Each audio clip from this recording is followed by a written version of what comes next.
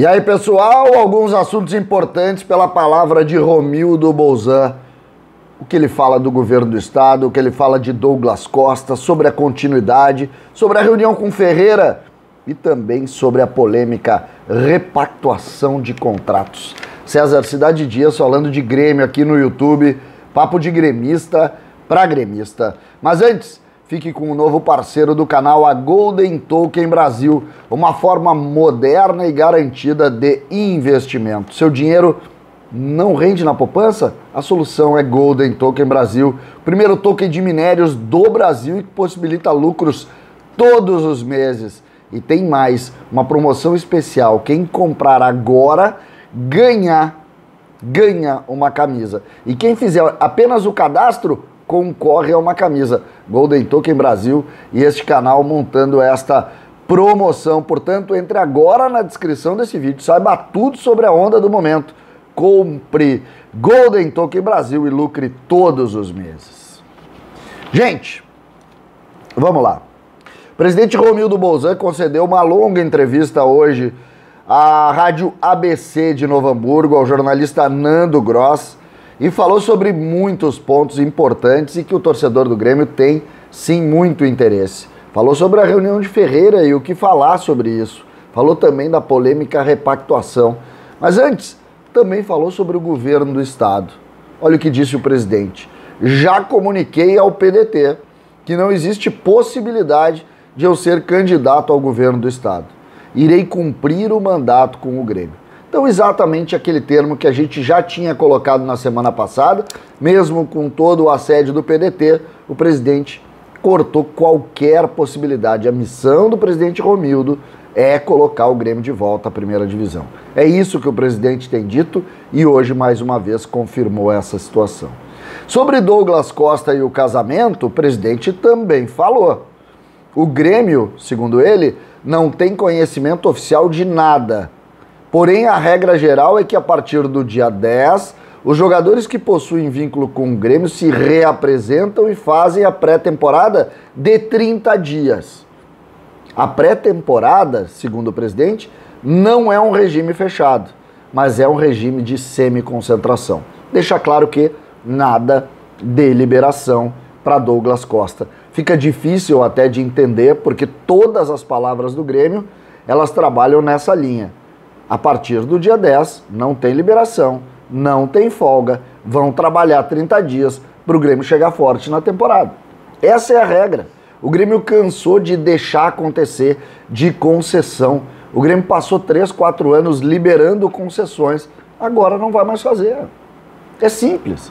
O Grêmio apanhou por fazer isso e não vai mais fazer. Essa é a realidade. Uma pergunta que eu achei muito legal feita na entrevista ela dá conta uh, da continuidade. Por que, que o Grêmio manteve o departamento de futebol e também Wagner Mancini? O que fez Romildo Bolzan pensar dessa maneira? Olha a resposta. Temos duas terras, terras arrasadas. A primeira é o resultado, o rebaixamento, no caso, que jamais poderia ter acontecido. E a outra situação é saber que há alguns processos corretos e que foram para o final do Brasileirão com o Mancini e com o Denis. Ele considerou acertada a posição, então, de uh, colocar o Denis e também colocar o Mancini. E aí ele, ele acrescenta: nesse particular, a gente aproveita o que tem de bom e corrige o que tem que corrigir. Nesse sentido, a avaliação uh, que fizemos para continuar. É, nesse sentido, foi essa avaliação que fizemos para continuar com a comissão técnica e com a direção política de futebol. Ou seja, segundo o, o diagnóstico do presidente do Grêmio, é, fez bem para o Grêmio a chegada de Mancini e de Denis Abraão, e ele vê mais pontos positivos do que negativos e por isso a manutenção do trabalho. Acho que aí existe uma supervalorização sem um entendimento, mas essa é apenas a minha opinião, não é o que pensa o presidente do Grêmio e os seus diretores entenderam que com o Mancini o Grêmio melhorou e apostam que ele dê esse resultado ou que ele evolua neste resultado. Também é preciso dizer por aqui o resultado da reunião com Ferreira. Isso mesmo. o que o Grêmio pensa, como que o presidente leu a, a reunião com Ferreira, a reunião que busca renovar o contrato do atacante pelo lado esquerdo do time tricolor. Olha o que disse o presidente sobre a reunião com Ferreira. Entendemos que o Ferreira é fundamental para essa temporada. Foi uma reunião produtiva, boa e muito organizada, com uma capacidade de entendimento sobre as coisas que se vivem no clube e que tem boas perspectivas. O presidente faz uma linha otimista, assim como tem passado essa situação envolvendo todos, uh, todas as pessoas que estão nesse caso.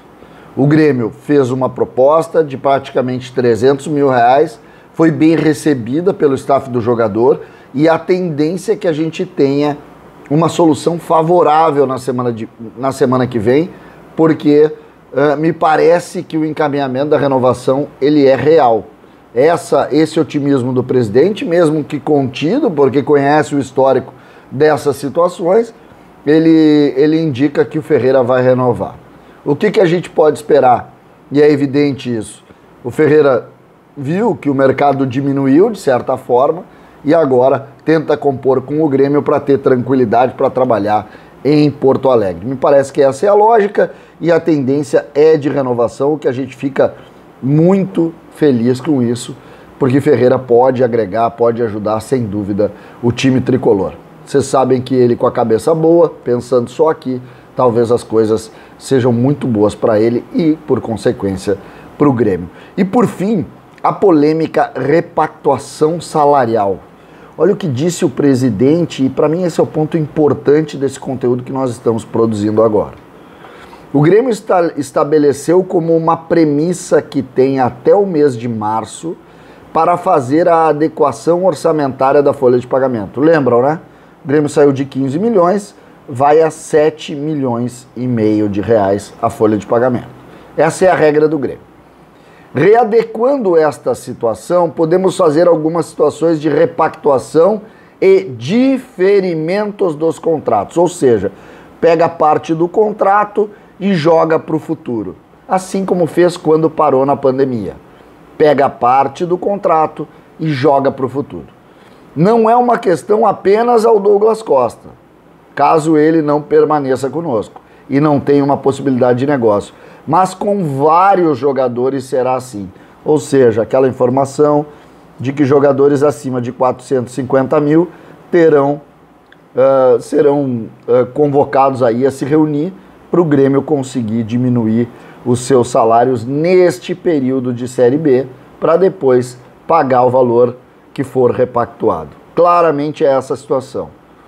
Tem, continua, pelo menos seis atletas que possuem valores salariais um pouco além do que entendemos como um parâmetro possível. Jeromel, Kahneman, acho que o Thiago Santos está nessa situação, não sei se o Lucas Silva não está, tem o Douglas Costa, ou seja, o Grêmio criou um teto, aqui está escrito, criou um teto o, o Denis Abrão para a Band disse que não sabia o que era isso. Está aqui o teto. O presidente disse: tem pelo menos seis atletas que possuem valores salariais um pouco além daquilo que entendemos como um parâmetro possível hoje. O Grêmio, para botar uh, uma folha de 7,5, tem que baixar o salário de mais seis. Está aqui. Está escrito isso. E em cima disso, o Grêmio começa já a se reunir. E agora vem o mais forte. Ele afirmou que iniciou as conversas, mas não avançou. Ou seja, ainda não tem solução nenhuma para os seis jogadores baixarem o salário. Seis jogadores o Grêmio precisa baixar. Alguns de forma importante, outros me parece que nem tanto. Agora, essa lista aqui é uma lista que precisa da solução. E em cima dessa situação é que a gente vai tentar entender.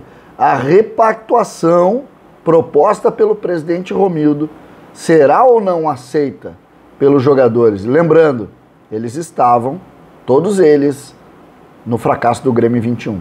Todos foram rebaixados junto com o Grêmio. Seis jogadores acima do teto proposto pelo Grêmio. E aí? O que dizer? Essa, para mim, é a questão da hora e a gente precisa resolver. O Grêmio não vai conseguir pagar, a partir de março, salários muito altos e fica evidente isso a partir da palavra do presidente Romildo Bolzan. César Cidade Dias falando de Grêmio aqui no YouTube.